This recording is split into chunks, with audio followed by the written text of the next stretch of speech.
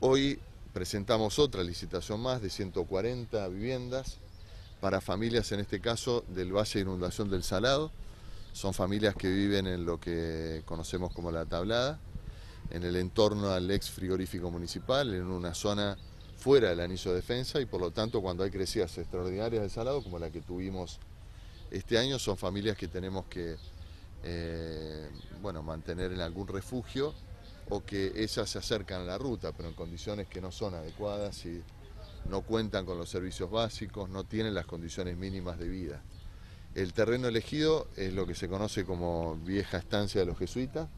Son terrenos municipales que en acuerdo con los jesuitas el municipio tomó y que eh, la infraestructura va a estar a cargo del gobierno provincial y las viviendas con fondos nacionales. Así que es como nos gusta decir la mejor manera de resolver los problemas porque es Nación aportando, en este caso, más de 120 millones de pesos. Recordarán que estuvo el jefe de gabinete Marcos Peña y el ministro del Interior Rogelio Frigerio presentando este programa hace algunos meses.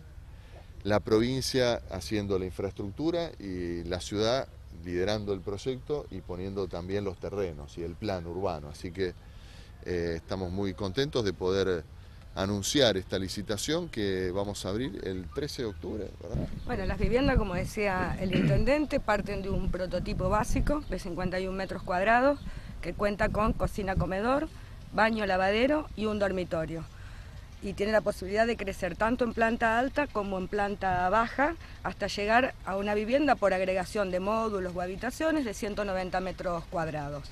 Esto lo que brinda es la posibilidad, la flexibilidad para que cada una de las familias, de acuerdo a sus necesidades y sus posibilidades, pueda ir creciendo, ampliando eh, la vivienda por sus propios medios y por otro lado le agrega algo muy importante que es eh, una diversidad propia, digamos, de la participación de las propias familias en el proceso de mejoramiento de la vida.